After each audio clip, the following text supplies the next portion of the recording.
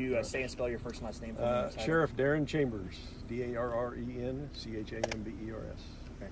Do you give us kind of overview of kind of what happened today and what took place? Uh, about uh, 1.30, just before 1.30, uh, there was some fishermen or uh, floaters coming down the river, and they just uh, came across uh, a body and immediately called 911. We came out and we did discover a body in the river.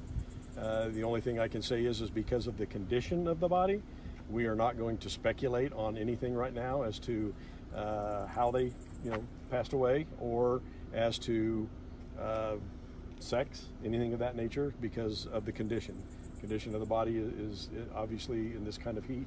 Uh, it doesn't take very long for you know somebody to, I guess you could say, uh, start deteriorating pretty quick in this weather. So we're not going to make any speculation. What we've done is we've, uh, I of course, reached out to the Forensic Science Center in Wichita, and we made arrangements with our coroner, and uh, we're going to take the body to the coroner uh, in Wichita and ask for an autopsy and see if maybe with the autopsy we can at least identify who the person is and uh, kind of go from there and uh, see what we have. Do you have an idea how long that person been in the water? Uh, I again, I can't really speculate. I'm, I'm, I'm just guessing based on the condition.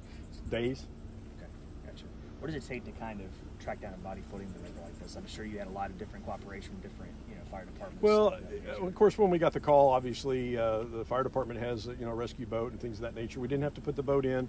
Uh, they were able to get some uh, uh, firemen to have the, the outfits that they can put on to get into the water, and uh, basically they just helped us to recover the body and, and bring it up. Uh, where the body was at in the water was a very steep embankment, and it you know it took a little bit to you know get the body up. We had to put it into a, obviously a bag and, and then use that to help winch it up and get it up here. So. So the body wasn't found in a box. We had heard that a couple It's times. like gun safe, yeah. A gun Uh, safe. that, at, at this point, that is- would be speculation, and I, and I don't want to put that out yet.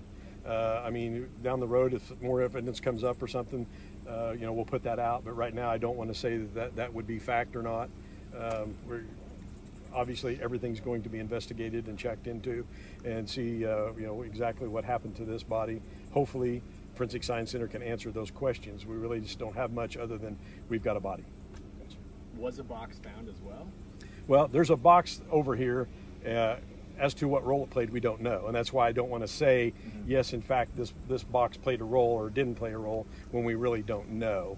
And so that's why I say I hate to speculate. Kind of like why would I speculate on, uh, you know, the cause of death when I don't know because of the condition of the body. So, uh, you know, we're we're going to look at that obviously uh, because of the changing conditions in the water in the river.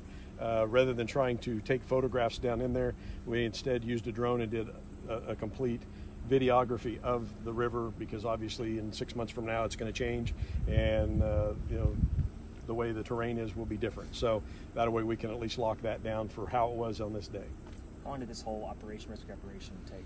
well uh, obviously we're right now we're just waiting for them to pick up the body so uh, close to four o'clock started about 1.30 so uh, that's kind of where we're at and they, they were just fishing, he said. Well, they uh, originally I thought they said they sometimes what they do is they come down and they do like limb lines, fishing with limb lines. They float it. The Ninnescah River actually isn't a navigable waterway. It's not like the Arkansas, so the property owner owns both sides or owns to the middle. You can't really float this river. so a lot of times they may be floating it, but just tell us that they were just fishing or something of that nature. I think they were floating the river, but uh, you know, immediately upon finding you know the body, obviously they called us and stuck around and gave us their names and all that. So. Guess it's Nope. cue to go. Somebody coming?